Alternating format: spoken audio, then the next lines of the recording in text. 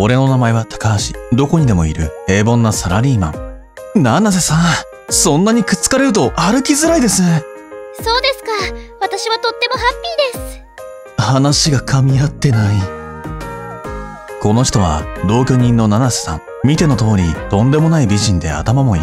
その上、会社経営までこなすという超エリート大学生だ。細かいことは気にしちゃダメですよ、高橋さん。久々にもらえたお休みなんですから。確かにそうですね。んで、今日はどこへ行くんでしたっけ？はい、まずは中華街を回ります。それから東京タワー、スカイツリーを登ってからお台場へ。日が暮れたら夢の国へ向かって、閉園した後は。か、過酷すぎる。おいどうしてくれるんだよ？ん？お前がぶつかってきたせいで、こっちは大怪我だ。どうしてくれるんだよ？そんなことを言われても。うわ、見るからにヤバそうなやつ。まあいい。俺は心優しい男だからな。慰謝料として100万。今日のところはそれで手を打ってやるよ。無茶だそんな大金。そもそもぶつかってきたのはあんたの方じゃないか。ああごちゃごちゃうるせえな。能書きはいいから、その花壇を渡しやがれ高橋さん？言ってくださいおじいさんす、すまないね。し、しまった。つい勢いで。なんだてめえ。喧嘩売ってんのか？あ、いえ、その。てめえのおかげで、慰謝料を取り損ねちまったじゃねえか。せっかく見つけた金づるだったのにゃ。あ、改めて見ると、とんでもない迫力。俺は、ワカサギ界のもんだよ。この辺り一帯はうちの島ってわけだ。中でも俺は組の中でもとびきりのワールで知られてる。組同士の抗争で100人以上を血の海に沈めた桃バミオロチの話くらいは聞いたことあるんじゃねえか？お、オロチとにかく舐めた真似をされたままじゃ示しがつかねえんだ。てめえにはしっかり落とし前を。あへえ、お前、女連れか。あ、いえ、この人は。へ、へへ。よーし、決めたぜ。さっきのジジイの代わりに、お前らを使って楽しませてもらうとするか。そ、そんな。とんでもないことになってしまった。でも、七瀬さんを巻き込むわけには。大丈夫です。高橋さんには私がついてますから。七瀬さん。ひとまずここはあの人の言うことを聞きましょう。周りの人に危害が及ぶかもしれませんから。これでよしと。は はいいざまじゃねえか。人気のない倉庫まで連れてこられ、縛り上げられてしまった。七瀬さんは大丈夫って言ってたけど、抵抗する素振りも見せてない。七瀬さんのことだ。きっと狙いがあるとは思うんだけど。いやいや、七瀬さんだけは何とかして守らないと。いいか、よく聞け。俺はガキの頃から数えきれないほどの悪事に手を染めてきた血も涙もない男だ。各地で破壊の限りを尽くした俺は23の組と17の族を潰し生ける伝説となった。犠牲となった者は数知れずあまりの残酷さに人は俺を血をすする赤マムシと呼んだ。あ赤マムシ？ま恨むんなら自分の無知を恨むんだな。ヤクザってのはメンツの生き物だ。逆らったやつにだけは容赦しねえ。これからじっくり思い知らせてやるよ。喧嘩を売る相手を間違えたってことをな。そ、そんなにヤバいやつだったのか？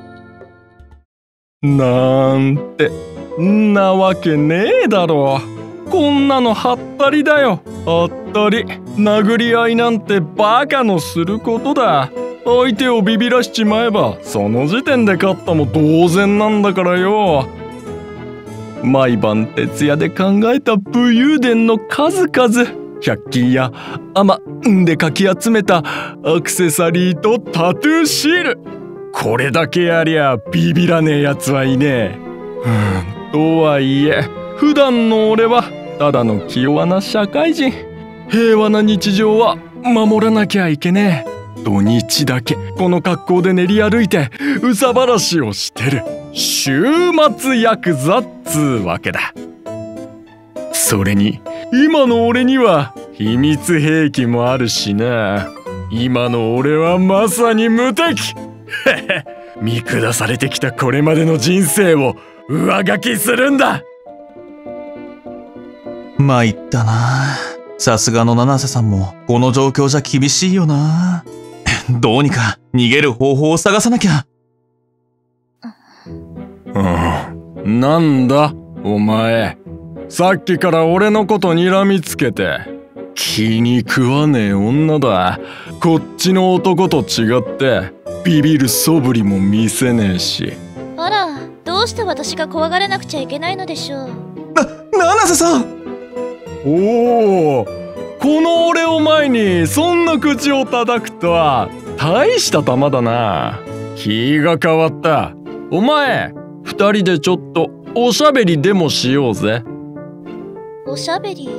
そんなに怖がることはねえ。手荒な真似はしねえからよ。お前がおとなしくしてりゃそっちの男は見逃してやってもいいぜ。いいでしょう。ではロープをほどいてくれますか？七瀬さん！そんな俺のために七瀬さんがダメだよ七瀬さん。あいつについてったら何をされるか。なんだてめえ。また俺に逆らうのか？安心してください高橋さん。少しだけ待っていてください。すぐに片付けてきますから。でも。さあ連れて行ってください。用があるのは私でしょこっちだ。ついてこい。七瀬さんずいぶん聞き分けがいいじゃねえか。そんなにあの男が大事か？当然です。高橋さんは私の全てですから。だからこんなつまらない時間は終わらせて高橋さんのデートに戻らないと。俺の怒りが収まれば解放してやってもいいがどうだろうな。何せ俺は浜のキングコブラと呼ばれた男一度敵に絡みついたらそう簡単には離さない。オロチの次はマムシかと思えば今度はコブラですか。聞いてもいないのにペラペラと。あなたの作り話なんて誰も興味ないんですけど。うん？作り話だと？その上話も長くて面白みもない。機会を伺っておとなしくしていましたがいい加減我慢の限界ですな手錠が？お前何をした？手錠？おもちゃの間違いでしょ？近所の100均を回れば同じものがすぐに見つかりそうです。ですがこちらは丸腰の女です。そしてあなたは有名なヤクザさん。なんですよね。だったら怖がる必要なんてありませんよね。さっさと取り押さえればいいんじゃないですか？怖がってる？この俺が？怖がってるだと？これを見ても同じことが言えるか？へ へどうだ？怖いだろ？う動くなよ。でないとこいつが火を吹いちまうかもしれねえからな。さすがにこれには逆らえねえだろ。よし。あとは俺の言いなりにしていざまずかせて。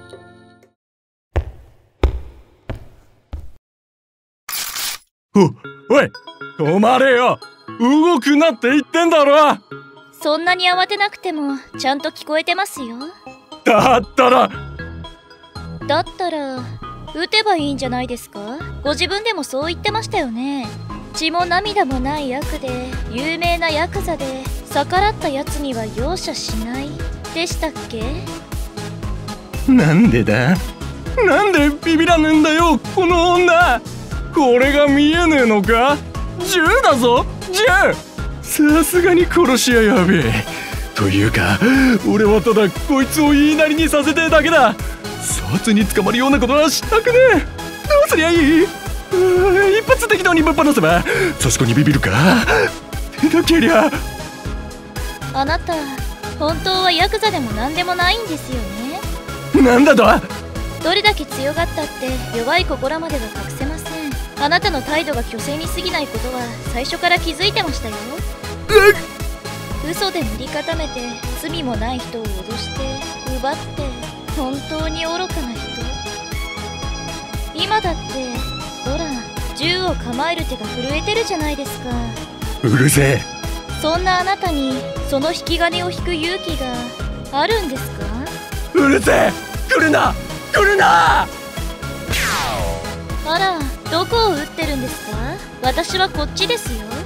畜生畜生畜生何なんだよあの女！今まであんなやついなかった！俺が凄めば誰もが震え上がって俺に従った！なのにあの女！見透かしたようなこと言いやがって！えー許さねえ！この見つけたら捕まえて痛めつけて！うわお前だなうちの組の名を語ってるガキってのは。おいこいつ茶が持ってるじゃねえか。もしかしてうちの組からかっぱらってきたのか。逃げなきゃ。逃げなきゃ。逃げても無駄ですよ。お前まさかあのヤクザはお前が。あなたの素性はすでに掴んでいます。その格好は全部ハリボテで週末の間だけ周囲を脅して練り歩いているということもそんな。先ほど聞いた話ですがヤクザはメンズの生き物だそうですからここで観念した方が身のためですよ。残念でしたね週末ヤクザさん。いいいやお待たせしました高橋さん。七瀬さん大丈夫ですか？銃声みたいのが聞こえましたけど。ええ大丈夫です。全て片付きましたから。あ片付けたって七瀬さんが？それにしても 素敵な光景ですね。ロープで縛り上げられた高橋さんなんて。そんな姿を見せられたら私いけない欲望が膨らんできちゃいます。